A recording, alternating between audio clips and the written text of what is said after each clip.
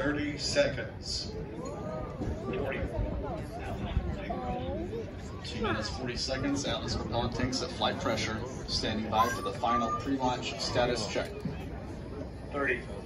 Centaur at flight press.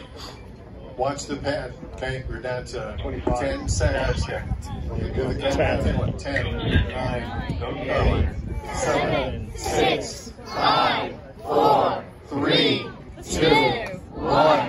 Watch the pad.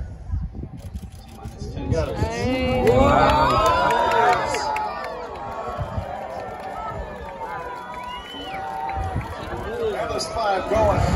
Starliner on its way. It's going to go a little bit to the left, just so you know. It's got to be at an angle to uh, catch up to the space station. Here comes the rumble. Don't be alarmed. It's not going to hurt you. Has gone close control. 1.6 million pounds of thrust. There you go. The RD-180 is now throttling down to maintain acceptable dynamic pressure limits on the vehicle.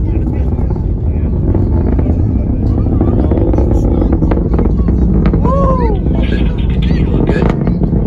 Vehicle is now passing through max Q, maximum dynamic pressure. Yep, max Q, and it was about 45 seconds. Plus Right 50 now, seconds. it is going Atlas is now supersonic. 65 Mile an seconds. altitude, one Sound mile barrier. distance. About 800 miles an hour.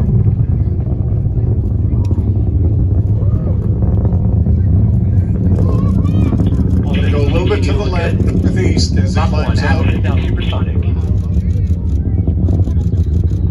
The RD-180 is now beginning to throttle up. You may see the solid rocket boosters come off. They come off at about two and a half minutes after launch. So look at the clock. You'll see two over there. That's the Vehicle attitude rate is well plus controlled. clock now. Atlas So 5 it's is about rates two are higher. minutes sound in the red. Yeah, look at the shadow. solid rocket boosters. They're going to be pretty high up though. We've SRB burnout, and the RD-180 has throttled back up to full, full thrust, and your response looks good.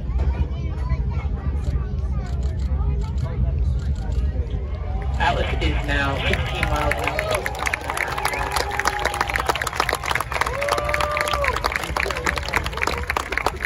Okay, remember what I asked you earlier? Now, who has never seen a rocket launch? And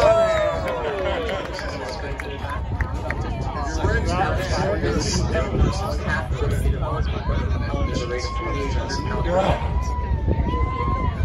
So it's fun out. There's, uh, I hope you enjoyed your lunch today. It's a pretty cool thing. On behalf of NASA, I would like to thank you all for being here.